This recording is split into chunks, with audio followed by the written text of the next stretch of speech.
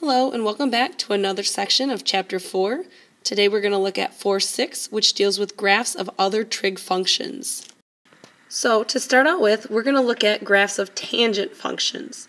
Now the tangent function is what we call an odd function because if we go to plug in a negative value, so if I go the tangent of a negative x, I'm going to get a negative tan x out. And if you have questions on this, we can prove it in class um, as well. Now, the graph of our tangent function is symmetrical with respect to the origin.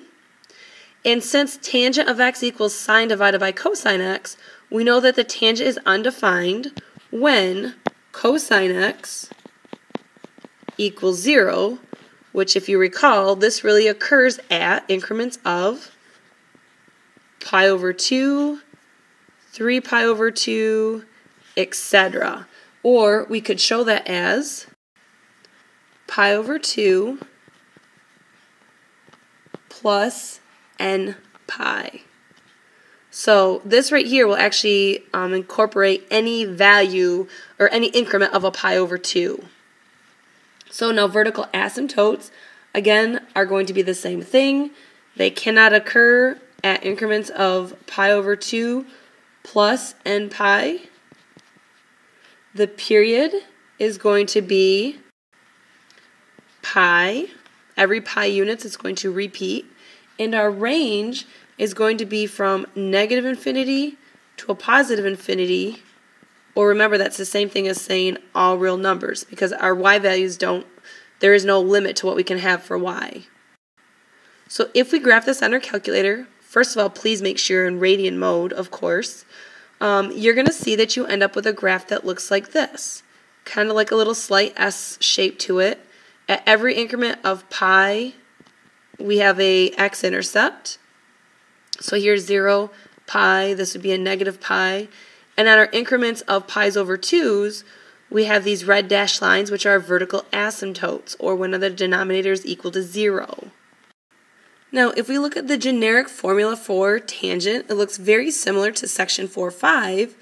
Um, it says d plus a times the tangent of the quantity of bx minus c. We are going to get our vertical asymptotes by solving the equations bx minus c and I'm going to set that equal to, we know that tangent is undefined at pi over 2 and negative, or increments of pi over 2. So if we're looking at a standard viewing window, let's go, we're going to set this equal to a negative pi over 2. And then I'm also going to look at bx minus c equals a positive pi over 2. And if you flip back, what that does is that will give you your vertical asymptotes on either side of the x equals 0. Our x-intercepts are actually going to be found by finding the midpoint of the two vertical asymptotes or any two consecutive vertical asymptote. So we'll say midpoint of consecutive vertical asymptotes. Now, these right here would be considered consecutive vertical asymptotes. So, in order to sketch a trig function, we want to start out by plotting our asymptotes, our x-intercepts, and then find a few points in between the, the asymptotes so we kind of have a, a point that we can make sure that we have a smooth connection.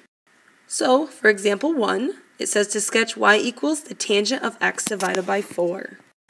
So the first thing I'm going to do is I'm going to try to find my vertical asymptotes, and I'm going to do that by taking the x divided by 4 and setting it equal to a negative pi over 2.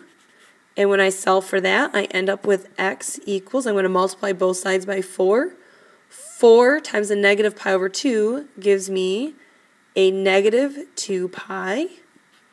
And likewise, I'm going to take that x divided by 4 and set it equal to a positive pi over 2, which then will give me x equals a positive 2 pi. So my two x-intercepts are at a negative 2 pi and a positive 2 pi. My x-intercept is going to come from the midpoint between negative 2 pi and a positive 2 pi. So that's going to be when x is equal to 0. And then if we pick another point in between um, are asymptotes. So actually I'm going to set up a table here. If I have an x value and my tangent of pi over, I'm sorry, x over 4 value, I need to pick up, I'm going to start on at negative 2 pi. When I plug that in, I know I'm going to get something that's undefined because that's a vertical asymptote. Then I need to pick a point in between negative 2 pi and 0, which I'm going to pick a negative pi. Then I have 0, which is an x-intercept. I know I'm going to have my next vertical asymptote at 2 pi, so then I need to pick another point in between 0 and 2 pi, which I'm going to just pick pi. When I plug pi in, the tangent of a negative pi over 4 is a negative 1. Tangent of 0 is going to give me 0. Tangent at pi over 4 is a positive 1, and the tangent of 2 pi then, again, is undefined. So if I go to plot this, I'm going to start out by plotting my vertical asymptotes at a positive 2 pi and a negative 2 pi. I know I have an x-intercept at 0, 0. And then at a negative pi, I was down 1, so I'm going to make this negative 1, negative 2, and this here will be 1 and 2. And when I was at a positive pi, I was at a positive 1. So what I can come up with then is that I have a graph that's going to look something like this. My next example says to sketch y equals a negative 3 times a tangent of 2x. Again, I'm going to start out by looking at my vertical asymptotes. So in this case, I'm going to take 2x and set it equal to a negative pi over 2. And when I solve for x, this gives me a negative pi over 4. And when I do the same thing, I have 2x equals a positive pi over 2. I now know that x equals a positive pi over 4. My x-intercepts can be found by taking the average or finding the middle of a negative pi over 4 to a positive pi over 4. And in that case, it's x equals 0. And if I create a table then, I have my x value. I have my negative 3 times the tangent of 2x. And I'm going to start out at a negative pi over 4. I'm going to have to pick an intermediate point. Then I have 0. I need another intermediate point, and then I'm going to have my positive pi over 4. So something between a negative pi over 4 and 0 then will be a negative pi over 8, and then I'm going to use the same value of a positive pi over 8 over here. I know that this here is going to be undefined. When I plug a negative pi over 8 in, negative pi over 8 times 2, when I'm looking at plugging it into this equation, that gives me the tangent of a negative pi over 4, which is really a positive, I'm sorry, a negative 1. Multiply that by a negative 3, and I get a positive 1. Tangent of 0 is going to give me, I'm sorry, tangent of 2 times 0, which is still 0. So tangent of 0 is going to give me 0 times the negative 3 is still 0. And if I plug in a positive pi over 8 this time, tangent of 2 times pi over 8 is going to be tangent of pi over 4, which is 1, times the negative 3 is going to give me a negative 3. And then I'm undefined again at pi over 4. So now if I go to graph this, I end up with my vertical asymptotes at a negative pi over 4 and a positive pi over 4. And if I plot my negative pi over 8, I get a positive 1. I have an intercept at 0, 0. And a positive pi over 8 is going to give me, I'm sorry, and a negative pi over 8, I should have had a positive, yeah, positive 3 here. So if I erase this out, which I can't do, um, we're going to ignore, let's plot this in blue here. So at a negative pi over 8, I have 3, which is right here. I'm going to go down to 0, 0, And then at a positive pi over 8, I have a negative 3. So we'll see that we end up with something that kind of looks like this. Graphing cotangent functions is similar to graphing the tangent functions. Since cotangent is equal to cosine divided by sine, we're going to have a vertical asymptote whenever sine x equals 0. Uh, and if we use the generic formula, y equals d plus a times the cotangent of the quantity of bx minus c, we can find the two consecutive vertical asymptotes by setting bx minus c equal to 0 and bx minus c equal to pi. The period of cotangent is also pi. Our domain is going to be all real numbers except x is not going to be equal to any increment of pi, and we're going to show that with pi n. Our range is all real numbers, and our vertical asymptote is going to be x is equal to increments of pi n or n pi. So if we go ahead and sketch this out, our cotangent function is going to look like this. Now if you notice, it looks very similar to the tangent function, but it's kind of um, like reciproc era uh, flipped. Our tangent function would have gone through like this, so it's kind of opposite. When we look at the graphs of other reciprocal functions, such as cosecant and secant, remember cosecant is really equal to the 1 divided by sine x, and secant is equal to 1 divided by cosine.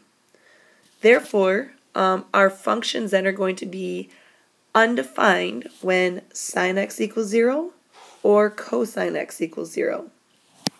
When we go to sketch these graphs, it's actually easier if we sketch the um, either cosine or sine function first, and I'll show you why here in just a second.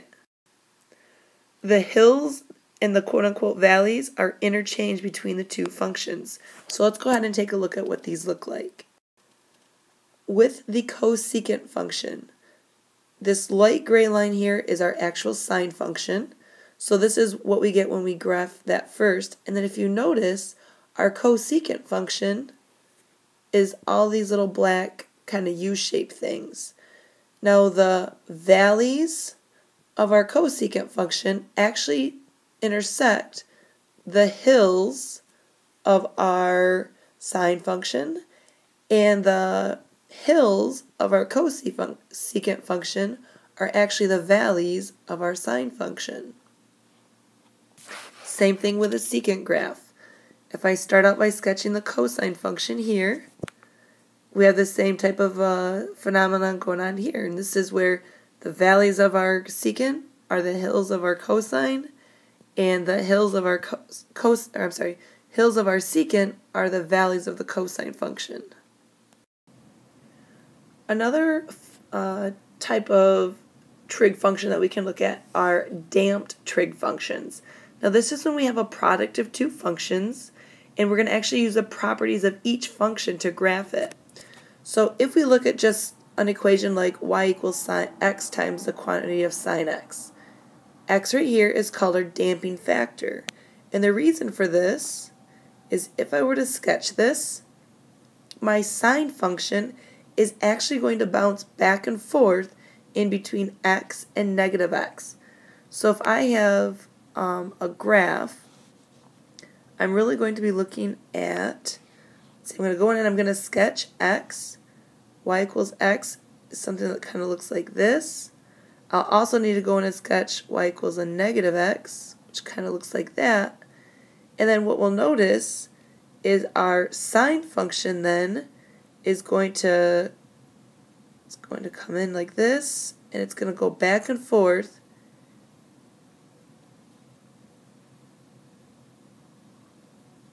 it's essentially going to be going bouncing back and forth in between the graph of y equals x and y equals a negative x. And you can do the same thing with something like um, y equals e to the negative x times sine x. And there's all sorts of things that you can do in front of, but just know that your sine function is going to be going back and forth in between your damping factor. And to kind of wrap everything up, uh, this is kind of a summary of the graphs that we've looked at here in the course of the last two sections. You can see that we have sine and cosecant, cosine and secant, and tangent and cotangent. If you have any questions on any of these, please don't hesitate to ask. So on that note, I hope you guys have a good night, and I will see you in class.